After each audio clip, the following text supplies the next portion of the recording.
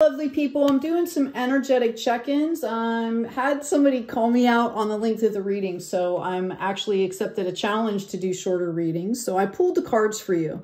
We have a King of Pentacles going into a Four of Cups, going into, as you can see, the Seven of Wands, okay? Somebody thought that they had it all together, right? Like they had it all together, okay? And they started to see some things that maybe made them realize that, you know, like they didn't have it all together, okay? This caused them to go into a period of kind of despair here, right? This is kind of like looking at yourself in the mirror, looking at your life, you know, um, having everything and being unhappy, right? And it put them into this place where they realized they really didn't have it all. Um, it might have looked like way, that way on the surface, right? Kind of peripheral, or surface level, egoic level, but it wasn't the case at all. So then they started doing this reflecting, right? And they started to say like, you know, why am I not happy? I have all this stuff, okay? And it really kind of put them into a period of scarcity mindset, okay? Maybe not in, you know, maybe not financially, right? But, but so they started to try and get clarity. It made them restless. Moving forward in the unseen position, there was a lot of drama around them because when you're in a materialistic space, there's a lot of drama and ego that's involved with that. Okay. And they started to realize this and they stepped up. They started to see, take accountability for their part in letting that into their world. Okay. I do feel like right now they're kind of in a period of just trying to nurture themselves and get to a point where the sunshine can come out again.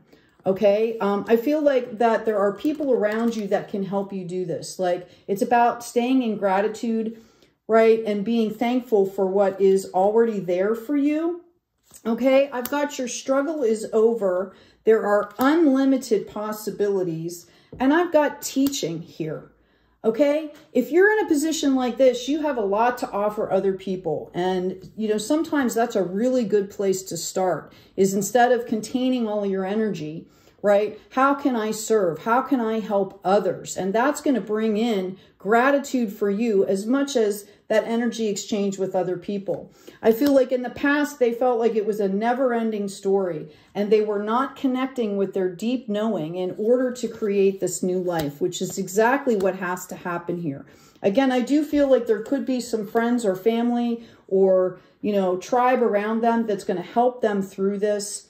The karma card that I have is the creation of, the gaining of respect for or from things brought to life or light. That sunshine, which is really interesting because we had the sun in reverse here. Okay? Right? So it's about understanding that you control the timing. You, well, not the timing. You control your outlook. How are you looking at the world? What are you focusing on? All right. Uh, hey, you guys, make sure to check out the description box. Make sure to check out my store. There's new designs coming up as soon as I had to redigitize some. Okay. And I've hand either hand painted or digitized them, right? Like hand drawn them. So, hey, take good care of yourselves. All right. Take good care of each other. Like, share, and subscribe, please. And as always, be kind out there.